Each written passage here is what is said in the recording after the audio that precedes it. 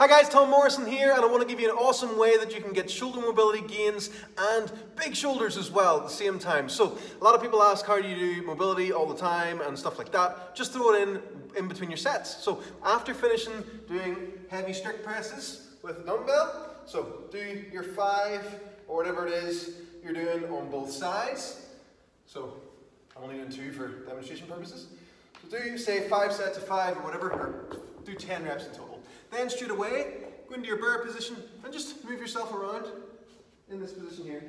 So you're getting to rest from the heavy weight, but you're also getting to work your shoulders in those positions, and then you can just work on all those other different things. So just move around in between your set, that'll give you enough recovery time, and then back to your dumbbell again, and then you can do more of your sets.